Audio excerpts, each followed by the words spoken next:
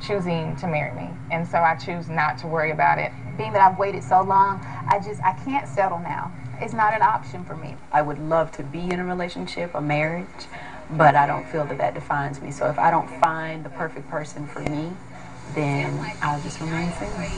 I'm Lindsay Davis for Nightline in Atlanta, Georgia. what up, Twitter? What up, Facebook? What up, YouTube? Say what up, Skype? What up, the whole network and mobile devices? This is your boy, CNOTE, reporting in with the spiritual direction for the day. What makes a relationship? A relationship suffers when it lacks resources.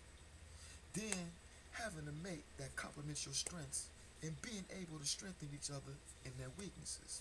And you know, you heard the saying, iron sharpens iron. So yet, the one thing that people need to focus on is the key ingredients that fuses everything all together. And both parties must have an aspiration in the visions of God. That's what makes a successful relationship. So we want to talk about uh, preparation for video presentations, having a good team, daytime and not, uh, nighttime uh, talk shows, informatics. We want to talk about money strategies, making sense of the whole matter. You know, with Citicorp and uh, United uh, United City uh, Visa cards and stuff like that. Say doing research on them. And then advice to the young generation on love and sex issues.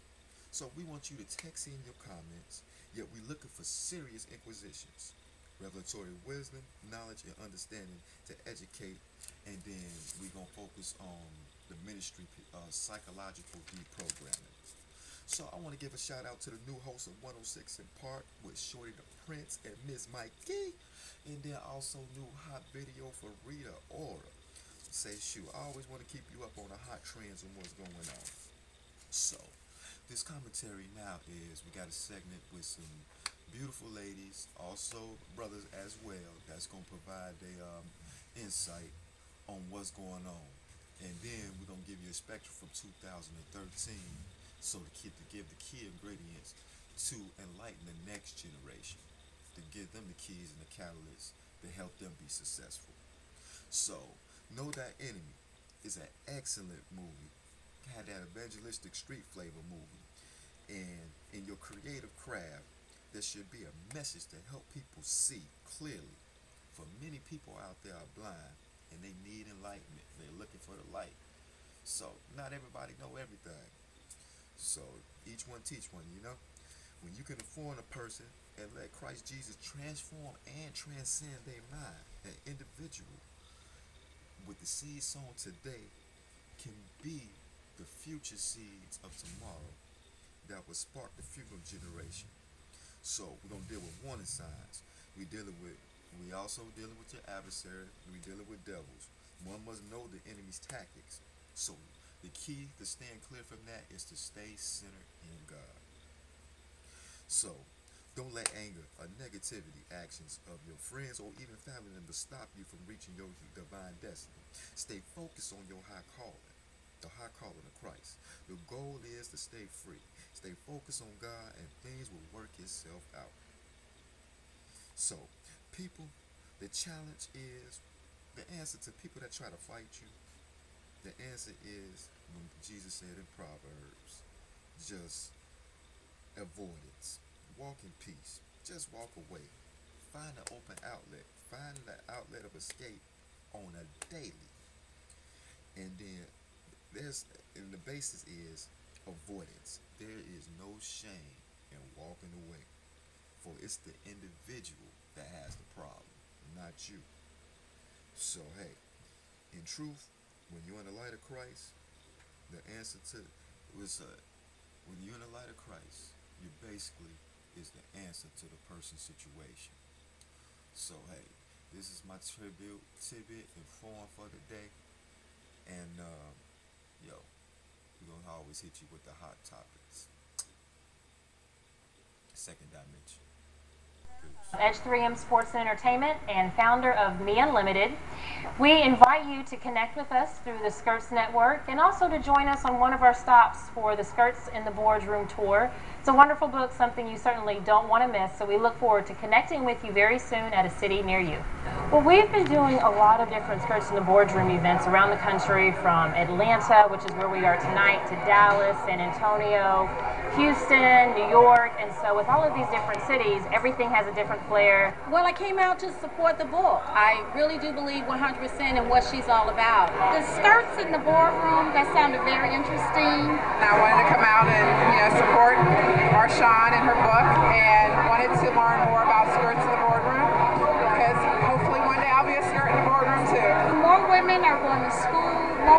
taking control of their lives. More African American women are moving up in more prominent roles. Some of the things that Marshawn spoke about, I, I kept feeling like I wanted to say, Amen. All right. You know, I could identify with everything that she was saying. If you don't know what it is that you're good at, how can you expect to really maximize your potential? If you don't know what it is that you do better than anybody else, why should you expect your boss to give you a promotion? I didn't think about buying the book after I heard Marshawn speak. Very dynamic, very impressive. I think she hits on a lot of points for women and men. It's a lot about being aware of who you are and what you want, and writing out your goals, and being confident in yourself. And those are really like the main theme points throughout the book. I'm going to get the book and pass it on to a couple of people, a couple of ladies that I know that are in business for themselves. I bought the book because I also have three young daughters who are six, four, and two, and I hope that I can inspire them, and I also hope that one day they can read this book and be inspired themselves. I thought it was outstanding, and I think Marshawn is a great mentor role model for young black women, so I came out to support it. I'm so glad I made it. Um, I, I think this is probably one of the best events I've been to in probably the last two years. This is not really about a book, it's a movement. Skirts in the Boardroom is a business advice book for women, and it really talks about how to maximize your potential, how to accomplish the goals that you've set for your professional career, whether that means climbing the corporate ladder and getting there faster than what you otherwise expected, or starting your own business. I think it's important for women, again, to share information with other women. And so I wanted to write this book so that I could share that. And I'm very specific. I talk about confidence and how to grow your confidence. I talk about connections and how important it is to network and how you network effectively. I talk about knowing your leadership style. I talk about knowing your communication style. And so they're very practical things, very real pieces of advice that women can use to advance their careers and that entrepreneurs can use to launch their business. I'm interactive with others because I care about people. I sincerely believe that every person is created on purpose, with purpose, for purpose. And as a result, I want to hear what people do. I want to understand what their dreams are. I want to see how I can help them. I always say to start where you are with what you have, knowing that what you have is already enough. And that's really my motivation is to help people understand that what they were given was not on accident. That what they have inside of them is uniquely designed to be an answer to somebody else's problem.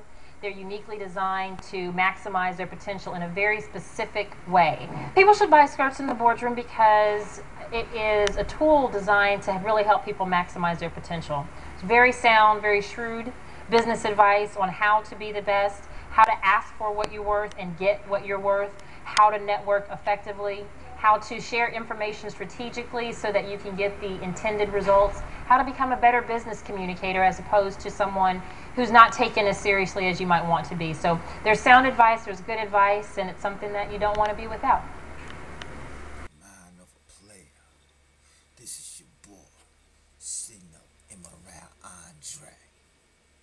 You see, women is my entire, entire entree. Speaking, cause you see, women love me. Because you know I got the physique. They love my mind. And when they look into my eyes, I'm like Alicia Keys' song, irresistible. You see, I got the key to my chromatic 300C. And then you know my wallet is like bada boom on overload. You know I'm packing the TNT on the downstairs department. You feel me? Plus, I know how to show my woman love and romance. But yet, don't get me wrong. I say, shoot. Got a five finger discount and know how to put a woman in their place if they get out of line. So, you know, See, Dr. Mercy, do you got the answer to analyze this social commentary? Cause you got women that love it, and you got some women that don't.